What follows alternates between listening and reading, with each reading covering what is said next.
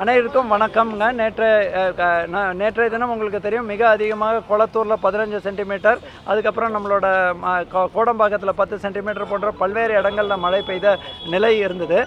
தற்பொழுது வந்து இன்றைக்கி இன்னைக்கு கொஞ்சம் மழை விட்டுருக்கு. பெரும்பாலான இடத்துல தண்ணி தேங்கவில்லை.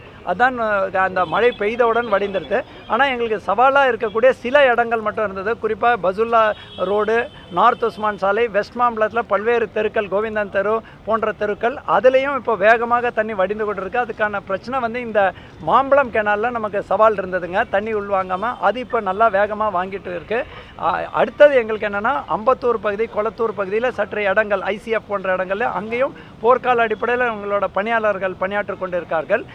மூவாயிரத்துக்கு மேற்பட்ட ஊழியர்கள் பணியாற்றி கொண்டிருக்கார்கள் அடுத்த மூன்று நாட்களுக்கும் நமக்கு இருக்கும்னு சொல்லிட்டு நம்ம சென்னை க- நம்மளோட மதிப்புரிய பிரின்சிபல் செக்ரட்டரியும் இருக்காங்க.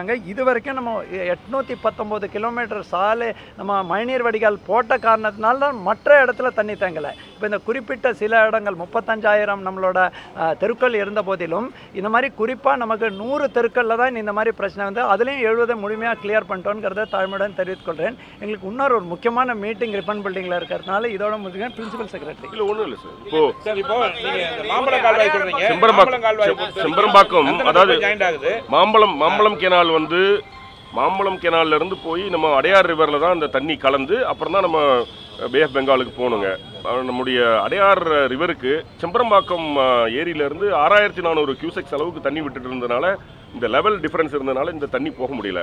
இப்போ நம்ம பொதுப்பணித்துறையோட டபிள்யூஆர்டி டிபார்ட்மெண்ட்டை ரெக்வஸ்ட் பண்ணி கவர்மெண்ட்ல இருந்தும் அஹ், நம்முடைய ம- மாண்புமிகு முதலமைச்சர் அவருடைய அலுவலகத்தில் இருந்தும் தலைமைச் செயலர் அவர்களும் மாண்புமிகு நம்முடைய நகராட்சி நிர்வாகத்துறை அமைச்சர் அவர்களும் இன்டர்வெயின் பண்ணி செம்பரம்பாக்கம் ஏரியிலேருந்து கூட்டுற தண்ணியை லெவலை கொஞ்சம் குறைக்க சொல்லியிருக்கோம். ஸோ இப்போது பொதுப்பணித்துறையிலிருந்து அது இந்த ம- இந்த நீர்வளத்துறையிலேருந்து செம்பரம்பாக்கம் லேக்கில் இருந்து ரிலீஸ் பண்ணுற வாட்டரை கொஞ்சம் குறைக்க போகிறாங்க ஸோ தேர்ஃபோர் இது இந்த வா- இந்த வாட்டர் ரொம்ப வேகமாக ரிசீட் ஆகிடும் ஸோ டி நகர் பகுதியில் இப்போ நீங்கள் பார்த்துட்டு இருக்கிற அந்த தேங்கிட்டு இருக்க பகுதியெல்லாம் மிக மிக விரைவில் மே மேபி ஒரு ஒன் ஹவரில் இந்த தண்ணியெல்லாம் குறைஞ்சிரும்.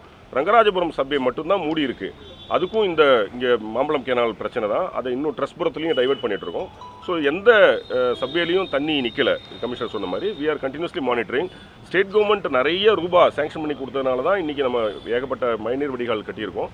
அதனால பொது வாழ்க்கை பெரும் பெருமளவில் பாதிக்காத அளவுக்கு நம்முடைய மாநகராட்சி நிர்வாகம்.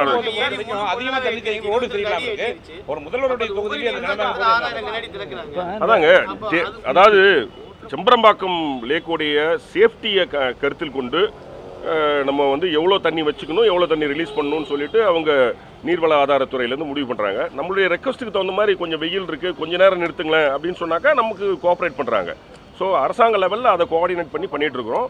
கண்டிப்பாக வந்து இந்த ம- இங்க டி நகர் பகுதியில் தேங்கி இருக்க தண்ணீர்லாம் விரைவில் வடிந்துடும் ஒரு முக்கியமான மீட்டிங் குளத்தூர் தொகுதியை பொறுத்த வரைக்கும் தண்ணி அதிகமா இருக்கு ரோடும் சரியில்லாம இருக்கு.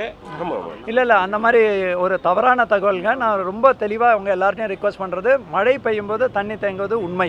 அதே நேரத்தில் வடியற செய்தியும் நம்ம போடலன்னா பொதுமக்கள் ரொம்ப அச்சத்தில் இருப்பாங்க. எங்கே இருக்கோ நாங்களே வெளிப்படையாக வந்து சொல்லிடுறோம். ரெண்டாவது இந்த சாலைகள் இந்த மாதிரி சற்று பாதிப்பு இருக்கக்கூடிய சாலைகளுக்கு அந்தந்த ஜோன் லெவல்லே நான் நம்ம டெண்டர் ப்ரீ ஆல்ரெடி டெண்டர் விட்டுருக்கோம். எஸ்டிஆர்எஃப் டீம் எங்கள் கிட்ட தயாராக இருக்காங்க. அந்த பாட்ஹோல் ரிப்பேர் பணிகளும் நம்ம வேகமாக செய்து கொண்டு வருகிறோம். நம்ம தற்பொழுது முக்கியம்.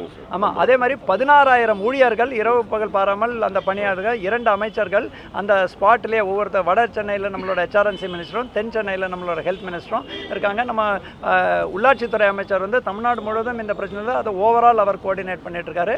நாங்கள் இப்போ வெரி முக்கியமான ஒரு மீட்டிங் ரிப்பன் பண்ணிங்க சொல்லுங்க, என்ன இஷ்யூ சொல்லுங்க சொல்லுங்க அடையார் பகுதியை மையமாக கொண்டு போகக்கூடிய பகுதியில் தண்ணீர் வெளியேறது தாமதம் புரிஞ்சுக்க முடியுது. குளத்தூர் பகுதியில் தண்ணி தேங்குறது திருவிக்கடலில் இல்லை அது உங்களுக்கு அந்த ஒட்டேரி நல்லாலேருந்து நான் நான் உங்களுக்கு அதை தெளிவாக சொல்லிடுறேங்க. தமிழ்நாடு சென்னையை பொறுத்தவரை நாலே நாலு அந்த முக்கியமான பேசின் நாலு. கொசத்தலையார் கோவளம் அதே மாதிரி நம்மளோட க அடையாறு. அதுக்கப்புறம் நம்மளோட கூவம். அதில் வரும்போது சில நாட்களில் எப்போ மழை மிக அதிகமாக இருக்கும்போது அந்த ரிவரில் தண்ணியாக ஆறுது அதே மாதிரி பௌர்ணமி நாள் போன்றது. நேற்றுக்கு வந்து பரவலாக மழை பெய்யும்போது அந்த சர்ஃபேஸ் தண்ணியும் உள்ளே போகிறது அந்த மாதிரி நேரத்தில் சற்று தாமதமாக போகிறதை தவிர்த்து நான் ரொம்ப தெளிவாக சொல்கிறேங்க ஏதாவது மழைநீர் வடிகளில் தண்ணி வாங்கலைன்னா தான் ஃபெயிலியர் தண்ணி வாங்குறது ஆனால் அந்த நேரம் பிடிக்கிறது அதுவும் நீங்கள் பார்த்தா இந்த குறிப்பாக இந்த ஏரியா நீங்கள் சொல்லக்கூடிய கொளத்தூரில் பதினஞ்சு சென்டிமீட்டர் மழை பெஞ்சது. அதே மாதிரி இன்னொரு நீங்கள் பகுதி சொல்கிறீங்க இல்லையா? திருவிக்கா நகர்லேயும் அதே அளவுக்கு. அதே மாதிரி மீனம்பாக்கம் சற்று ஆலந்தூர் சைதா சைதாப்பேட்டை ஏரியாவில் மிக அதிக மழை. அதே மாதிரி கோடம்பாக்கம் பகுதியில் ஆல்மோஸ்ட் நூறு சென்டிமீட்டர் மூணு மணி நேரத்தில் இருந்தது.